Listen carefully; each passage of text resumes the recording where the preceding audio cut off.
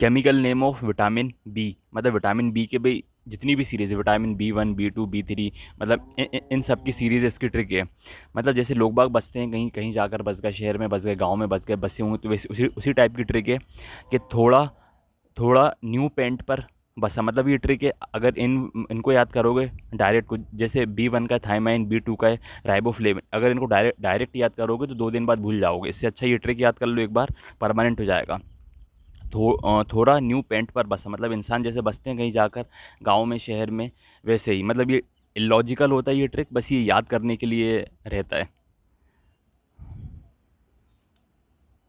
Vitamin B one का है थ्यामीन मतलब ये थोड़ा का ये था हो जाएगा। विटामिन बी वन का थायमिन और विटामिन बी टू का है राइबोफ्लेविन ये थोड़ा का रा रा यहाँ हो जाएगा राइबोफ्लेविन और विटामिन बी थ्री का ये न्यू का यहाँ हो जाएगा न्यासिन विटामिन बी थ्री और विटामिन बी फाइव का हो जाएगा पेंट का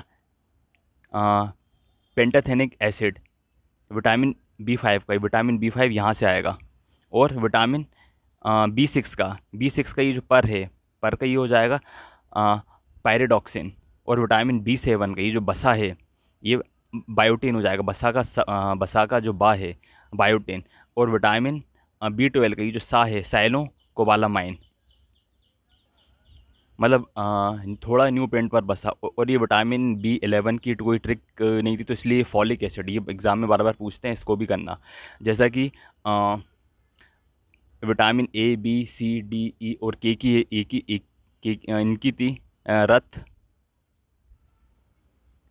रथ, एक, टॉफ़ी।